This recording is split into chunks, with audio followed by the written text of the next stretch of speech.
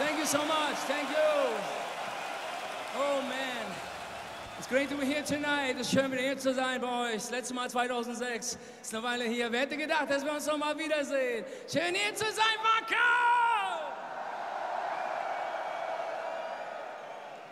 So are you ready to rock?